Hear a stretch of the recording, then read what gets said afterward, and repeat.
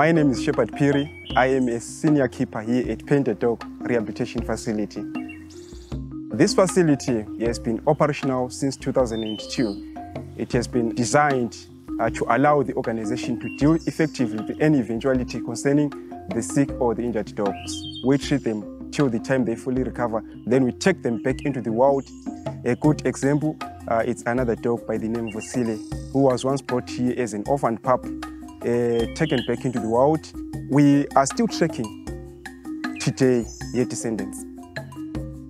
This rehabilitation facility is also of great importance, uh, especially to the children bush camp kids that uh, visit here. And most of them, it will be just their first encounter with the dogs. Some of them yeah, if you haven't seen the painted dogs in person. So for them to have a clear picture on how the species look like and to avoid all those misconceptions, having these dogs gives them an opportunity to know uh, these species more than what they uh, speculated. In 2009, I was, uh, I was given the opportunity to come at the children bush camp where we're taught to have a positive attitude toward nature.